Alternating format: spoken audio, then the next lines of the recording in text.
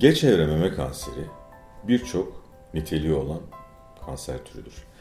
Burada memedeki tümörün büyüklüğü, çevre dokulara yayılımı, koltuk altı lenf bezlerindeki lenf nodlarının yapısı, aynı zamanda çevredeki bulunan organları atlayıp atlamadığıyla ilgilidir.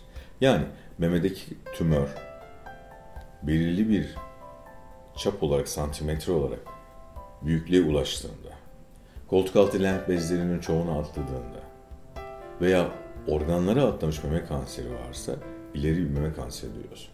Burada ayrıntılar söz konusudur. Örneğin memedeki tümör küçük fakat başka organa atlamış. Bu ileri meme kanseridir. Yine memedeki kanser e, belirli bir büyüklükte, çok büyük değil ama koltuk altı lenf bezleri hatta e, koltuk altı lenf bezlerinin üstünde göğüs duvarının veya boyunda lenf bezleriyle birlikteyse bu da bir ileri meme kanseridir.